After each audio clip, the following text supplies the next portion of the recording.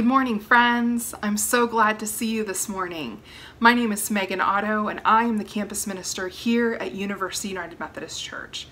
Wherever you're from, whatever your journey, know that you are welcome in this place together.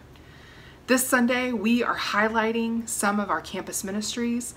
Um, we will have some students in the worship service that you'll see a little bit later sharing some of our prayers and our scripture. We will continue to have campus ministry this fall um, from a distance. We will have some studies, some Bible studies, some book studies, some fun activities, some learning time, and just time to connect. I hope that you will be in prayer for our college students and for all those folks that work on the campus of UT. I know that it's a very stressful time for all educators, for all students, and we just want to make sure that they feel our support as they are our neighbors. Uh, our coffee in the Zoom yard this past Sunday was a huge success. We had 40 households participate in about a 30 minute conversation with Pastor John and Pastor Lisa and some of our new members. It was great to see everyone. We'll do it again on August 30th, so be looking out for that information. We have a unique learning opportunity from moments from moments to movements, the time for right racial justice, facilitated by Reverend Ray Jordan. The six week course is designed to investigate the legacy of the past, understand the effects of that legacy on today, and seek paths of moving forward together. Discussion dates are Tuesday evenings, September 8th through October 13th from 7 to 8:30 p.m. The study is limited to 40 people and the cost is $20 a person. You can register on our website under coming events. I hope that you feel connected to this community. I hope you are ready to worship, and I hope that you know that you are welcome here. Peace be with you. May the peace of Christ be with you. Peace be with you. Peace, Peace be with with, you. you. and also with you. Good morning. My name is Sarah Kate Scribner, and I'm a fourth year student at UT in journalism. Please join me in prayer. God of love and justice, we gather together to worship you, to offer our thanks and praise, and to proclaim your goodness and mercy. Meet us here. Breathe your word into our souls, engrave your covenant of love upon our hearts. Teach us faithfulness and compassion so that our lives may reflect your love and justice to the world. Amen. Please join me in saying the Lord's Prayer. Our Creator, who art in heaven, hallowed be thy name. Thy kingdom come, thy will be done, on earth as it is in heaven. Give us this day our daily bread, and forgive us our trespasses, as we forgive those who trespass against us. And lead us not into temptation, but deliver us from evil. For thine is the kingdom, and the power, and the glory forever. Amen.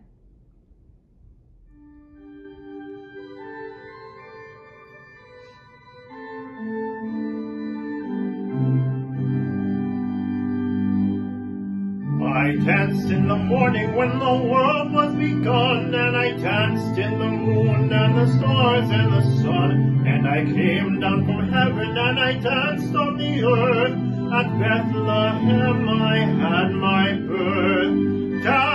Then wherever you may be. I am the Lord of the dance, said he, and I'll lead you all wherever you may be, and I'll lead you all in the dance, said he. I danced on the Sabbath and I cured the lame. The holy people said it was a shame. They whipped and they stripped and they hung me high and left me there on a cross to die. Dance then wherever you may be. I am the Lord of the dance, said he, and I'll lead you all wherever you may be, and I'll lead you all in the dance, said he. I danced on a Friday and the sky turned black. It's hard to devil on your back. They buried my body and they thought I'd gone. But I am the dance and I still go on. Dance then wherever you may be. I am the Lord of the dance, said he, and I'll lead you all wherever you may be, and I'll lead you all in the dance,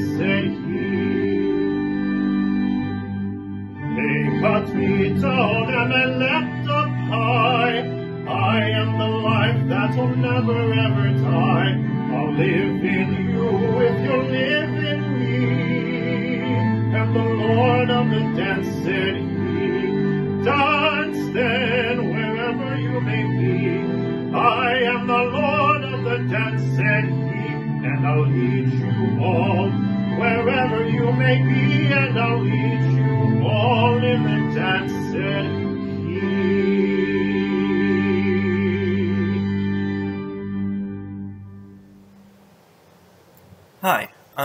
Alexander. I'm a PhD student in the Transportation Engineering program at UT.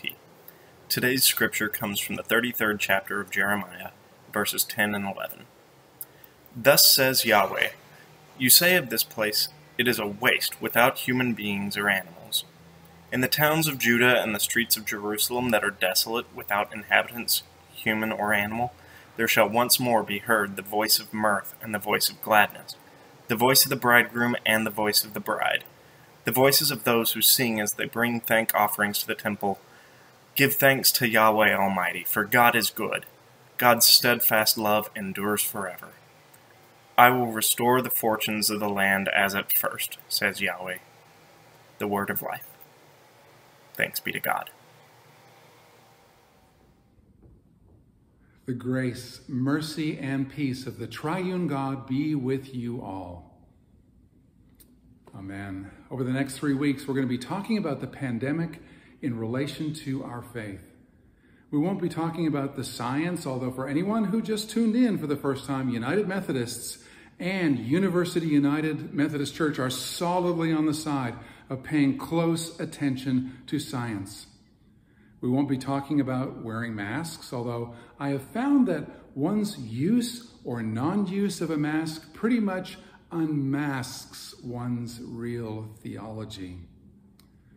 You might be wondering, why spend time and energy on this when we are preoccupied with so many things, with daily survival, with fears about friends and family, everybody working and learning at home, huge anxiety about school and, and college reopenings, and a, and a general foreboding sense that we may not even have seen the worst of this virus. And each one of us has a story. Our daughter is a travel nurse on Maui, and there was a large COVID outbreak at her hospital. It's the only hospital on the island. And so we had several nail biting nights as we awaited her test results until we received the good news that she tested negative. So, why sit back and reflect on all of this? I think the answer is really pretty simple. We linger here on, on understanding how our faith speaks to us in this time because all of us are already doing it. Yes, we get caught up in the now of the trauma, but we are also ranging freely beyond that to ponder about where God is in all this and what are we being called to be and to do. You know, it's kind of interesting and a little bit frightening to skim over some of the responses that Christians have made to the pandemic. That somehow this is God's will to teach us a lesson, to bring us to repentance. Now, unless morality no longer applies to God, this answer seems just painfully and horribly inadequate. Yes, it, it makes a kind of bizarre sense of the world and that everything is in God's hands, but it does that at the expense of creating a monstrous God who can manipulate the created order to unleash all manner of, of horrors. Frankly, I think that we all would be better off without that God. Some others see this pandemic as a sign that the end times are near.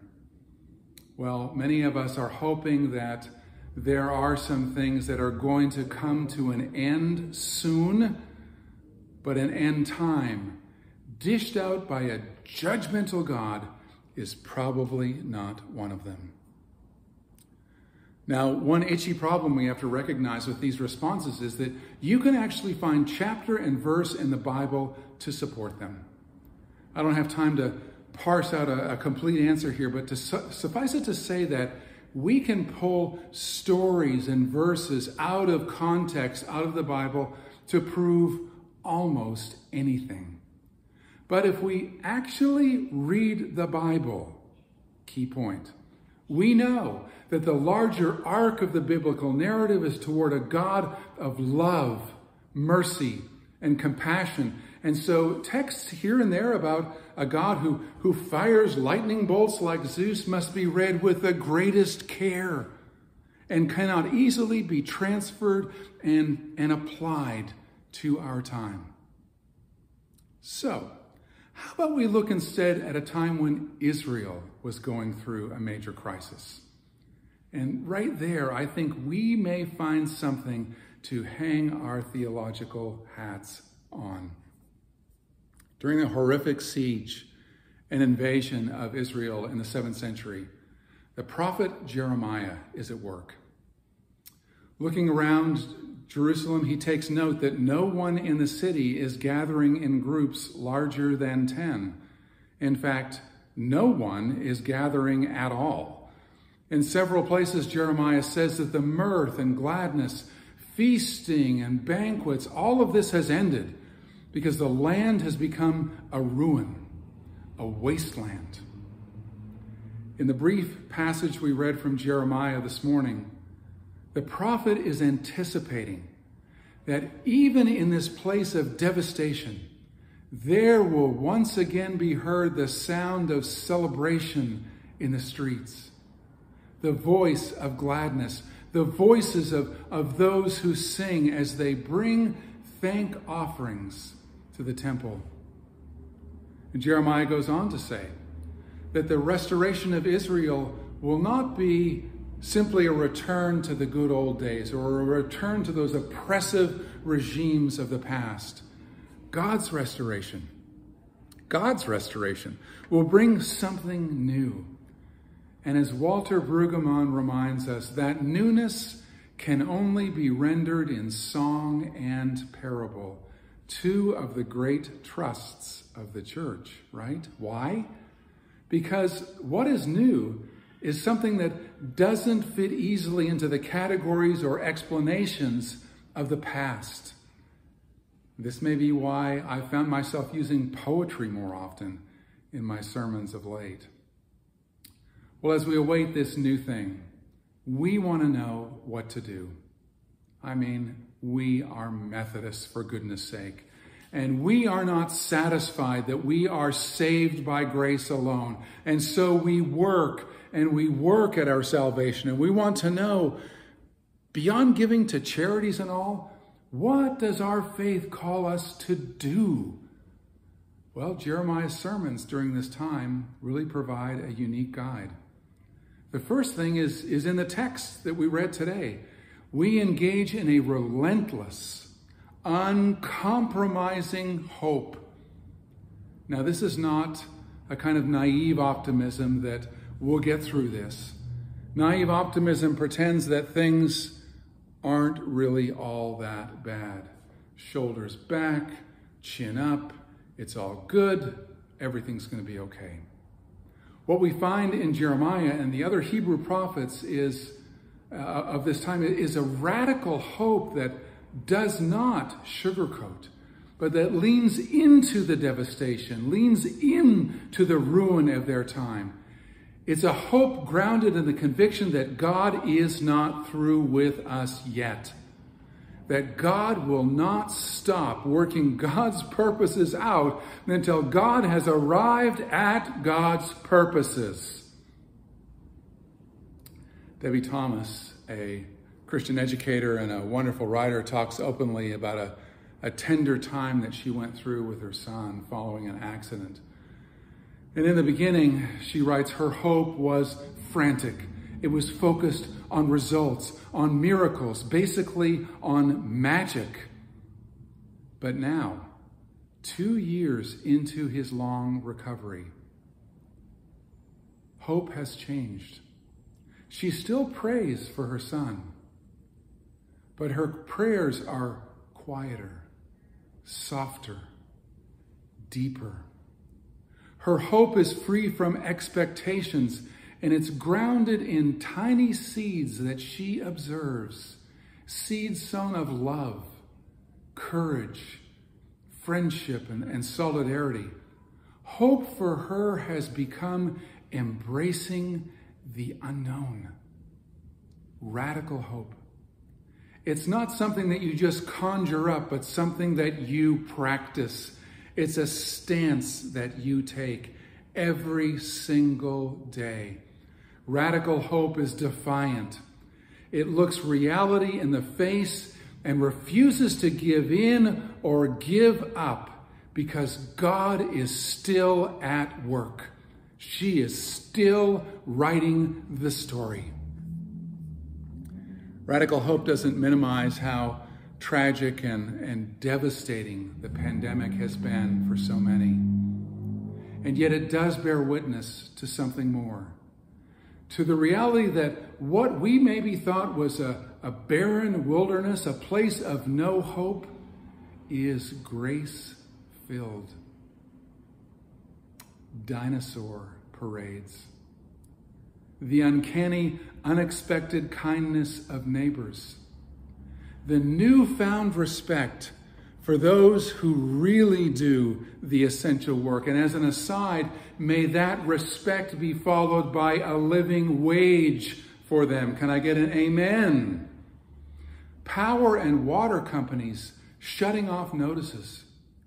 Countless folks continuing to pay those who, who cut their hair or clean their homes or mow their lawns or dozens of other services who are unable to work the folks who made music out on their balconies, including the man who powerfully sang Nessun dorma, Nessun dorma, who picks up his son toward the end only to have him cover his ears as only a child would do.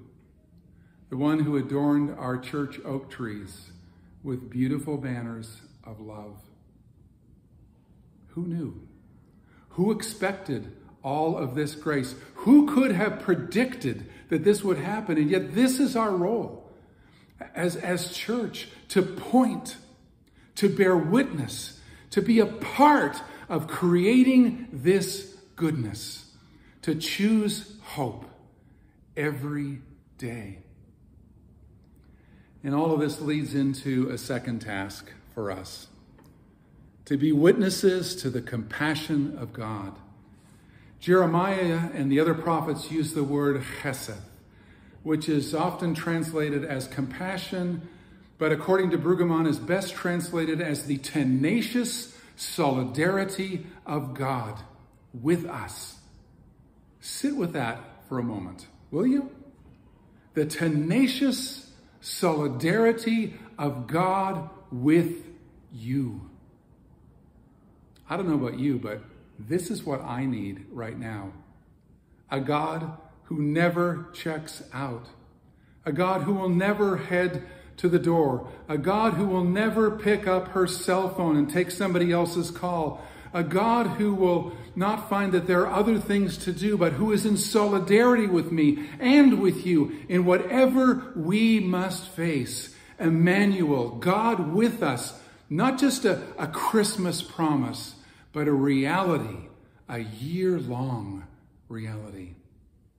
This is the God I need because I really can't do this tenacious solidarity thing. I try, but I fail so often. So I used to think that God with us was really no big deal. It's just, it's kind of God's thing. I mean, this is who God is. It's maybe kind of a minor superpower, or maybe it's not even a superpower at all.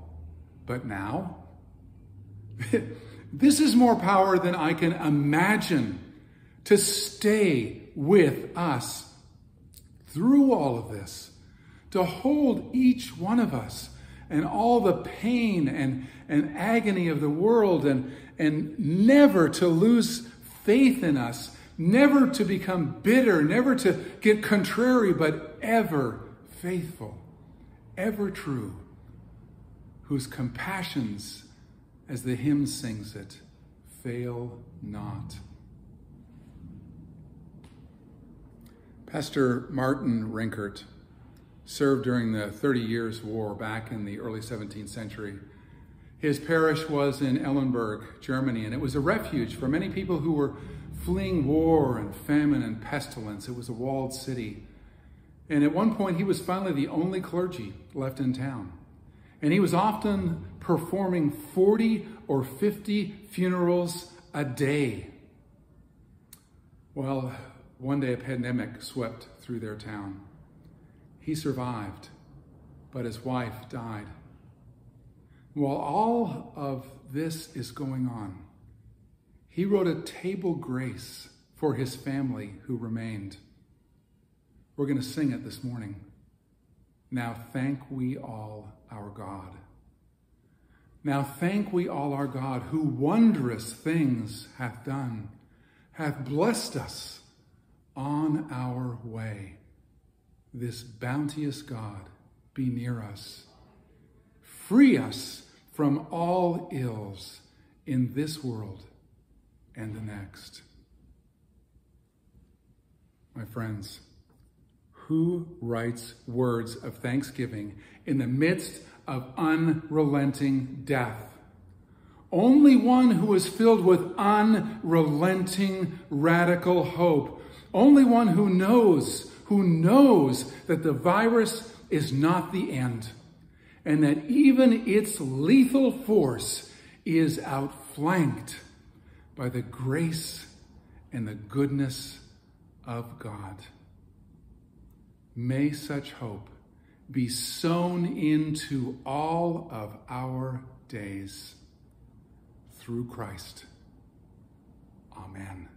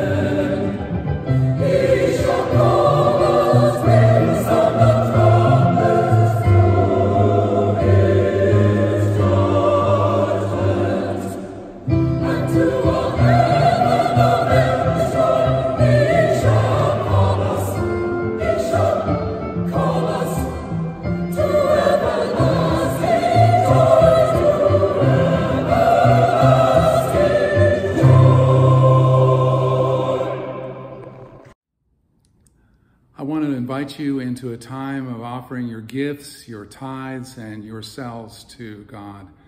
We so appreciate your gifts, especially in this difficult time. So many places to give, so many things to support, and yet you're giving your gifts here so that so that open, open Door can be this place of love, compassion, and hospitality, I was there this last week and I mentioned in e-notes that there were angels everywhere, angels who came to visit us, angels who were there who were serving. And your gifts, your work make all of that possible. Thanks be to God and thank you. Amen.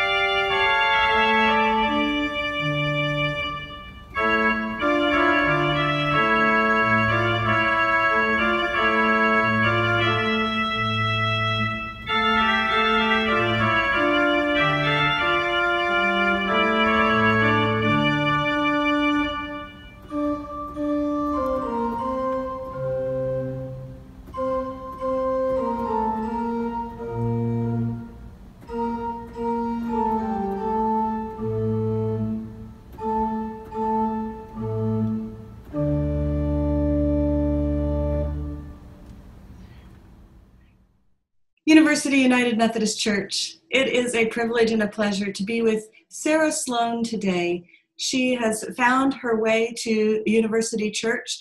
Uh, she began her journey in Sherman, Texas, and her faith journey has taken her many places, and she has now found this to be the home for her next stage in her journey. We, Sarah, we are so glad to have you with us today. Thank you. Sarah, after careful thought and prayer, you have decided to join this community of faith to be an active part of a church committed to mission and justice in the heart of Austin. And so I ask you, before your new church family, will you support this community of faith with your prayers, your presence, your gifts, your service, and your witness? If so, you say, I will. I will. Members of University United Methodist Church, each of us has an important role to fulfill. We recognize that Sarah needs a community of love and forgiveness as she finds her unique calling and lives out her faith and serves God. Will you work and pray that Sarah may find connection, care, support, and challenge through our faith community? If so, we say we will. Let us pray. Holy God, Help and help us surround Sarah with a community of love and forgiveness. Strengthen us as we renew our covenant to participate in the ministries of the church by our prayers, our presence, our gifts, our service, and our witness, that in everything God may be glorified through Jesus Christ. Amen. Sarah, we welcome you to University United Methodist Church. We hope that this is a place where you find true connection and community. Thank you for joining with us today. Thank you. I look forward to spending time with you all in person someday. Me too.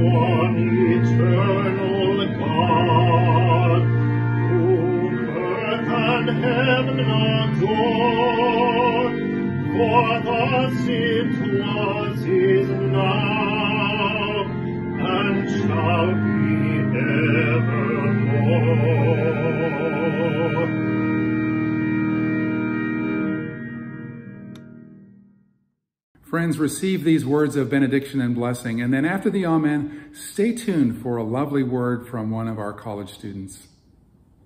May the Spirit of the living God go before you to show you the way, go above you to watch over you, go behind you to push you into those places where maybe you'd rather not go, go beneath you to uphold you and uplift you, go beside you to be your strong and constant companion, and dwell within you to remind you that you are surely never alone and that you are loved, loved beyond your wildest imagination. And may the fire of God's blessing burn brightly upon you and within you, now and forever. Amen.